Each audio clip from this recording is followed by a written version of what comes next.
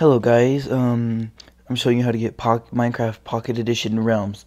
You go to Safari, and then you go to this website, this website right here, but it'll be in the descriptions below. Um, yeah, it'll be in the descriptions. All you do is go to this. It'll look exactly like this. All you do is go to first step, and you install this app on iOS once it's installed you can um go down to the second step. You can um you copy that right there that one thing in the box. You go to settings. You go to your Wi-Fi. Once you go to your Wi-Fi you click the blue arrow. You go all the way down to HTTP proxy. You press auto. Then you copy paste it right there in the URL once that's done, you have to wait till your internet connects again.